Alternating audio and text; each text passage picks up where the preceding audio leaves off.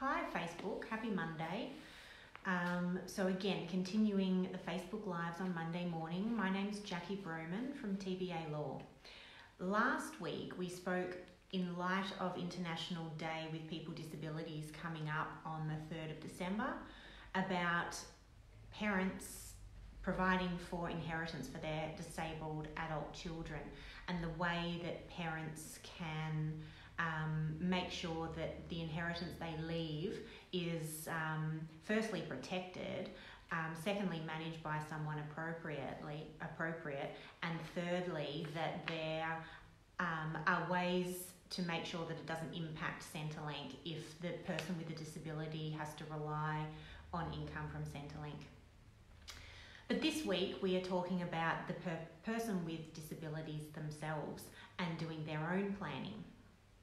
So, um, firstly, it would be fairly offensive if we thought that people with a disability couldn't do their own documents or manage their own affairs. So, um, people with a physical disability um, obviously have no um, problems whatsoever in doing their own documents insofar as um, powers of attorney for themselves, um, doing their own will, comprehending all of that, and taking control of um, who will administer their estate and who will look after them if they can't look after themselves anymore.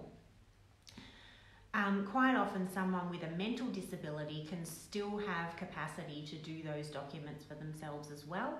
So it's got to be an individual assessment on a case by case basis. Um, but then sometimes the mental disability can be severe enough that the person lacks capacity.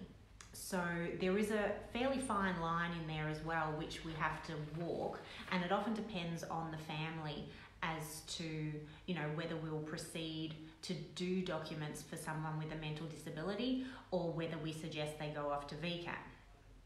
So um, the measure, I suppose, for capacity is not necessarily a medical test, it's a legal test.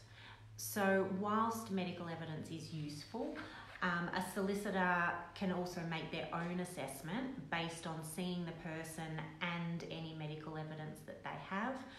But then ultimately, if there is a dispute over the documents, it's up to the court to decide. Okay, so no one else has um, exclusive rights to determine whether someone has capacity or not, except for the court.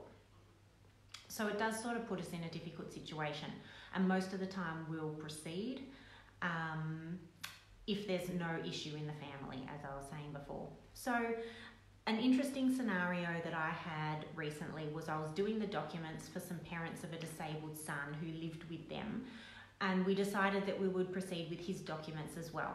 So, he was in his late 30s he had um, autism or was on that scale and also a learning disability.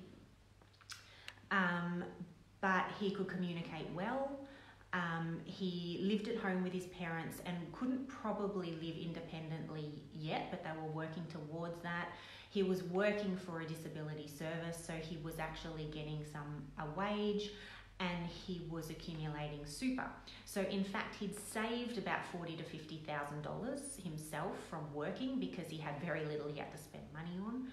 Um, and he'd accumulated some super, and also there was a death benefit on his super fund. So there was close to three hundred thousand in super. So it was well and truly worthwhile doing documents for him. So on the assessment that we made, um, his parents brought in some reports about um, from specialists over the time that he'd been seeing.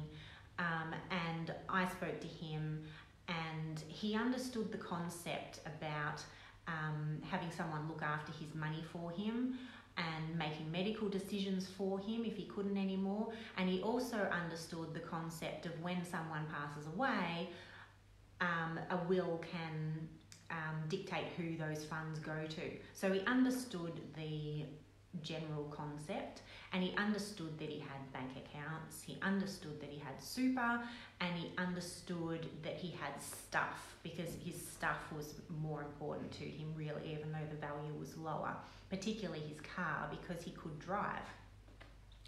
So we did his documents, and he was very clear that he wanted um, his parents to be the ones making decisions for him. He had a brother and a sister um, who were well and who had had kids themselves.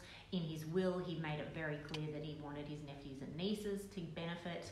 Um, and that his brother and sister could be the alternates if something had happened to his parents to help look after him. So, in that situation, it was quite okay to proceed with documents. Um, and not only that, the family was a fairly stable family and no one was going to argue with what he wanted to do. So there wasn't an issue there. The scenario would have been different if he didn't have capacity, in which case I would have had to help his parents go through the process of making a VCAT application to get administration and guardianship for their son. Um, but there wouldn't have been a, a, an ability to do a will in that situation. Um, and even though he had significant assets, they as administrators couldn't do a will. So the only way they would have gotten around that is making an application to the Supreme Court, and the Supreme Court could have made a will in that situation if someone doesn't have mental capacity yet they have significant assets that need to be sorted out. So it can be quite important for people with a mental disability to um, look at all these aspects. And the other important thing as well is um, who helps that person with a disability after the parents have passed away.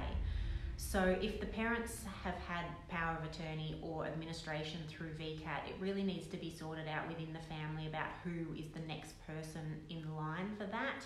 And if it can't be determined either voluntarily by the person themselves or through VCAT, unfortunately, it might fall down to the state trustees. Or in some families that don't get along well, it may end up being someone that the person with the disability doesn't like, um, but that family member may be controlling, and then you might be open to a situation where there's um, an abuse of power. So it can be a very tricky situation, and parents with the person with a disability um, should consider making sure that things are all in place um, and take control while they can before it gets too late. So, those main points to remember. Got my three points. Um, a firstly assessment of capacity. So it's worthwhile bringing the person with a disability in to see a solicitor to see whether the solicitor thinks there's capacity to proceed with the documents. Then you'll know if there's not what you can do after that, which is a VCAT application. All right, and um, VCAT can be very straightforward when there's a medical report and there's no family dispute about who's going to administer um, person's affairs. And then remember, state trustees is a fallback position. So if there's no one available to administer um, the funds for the person with a disability, state trustees is a service that um, it, it, used to be a government service, it's now privatised, but um, essentially a um, bureaucratic administrator. And there'd be a case manager um, and so on and so forth. So it wouldn't be as personal administration, but um, it would at least mean that the person with a disability wasn't left um, without someone looking after their affairs. So important leading up to um, International Day for People with a Disability. Um, that we are more educated about what can be done, and also that people who have a disabled family member aren't left in the dark wondering um, where to find out this information or what they can or can't do. So, if you do have um, someone in your family who has a disability or you know of a friend who has a child with a disability, it's worthwhile perhaps pointing out this um, video for them or sharing it with them um, because, again, it's if this can be handled quite easily, it's one less thing off their plate and one less thing to worry about. So I hope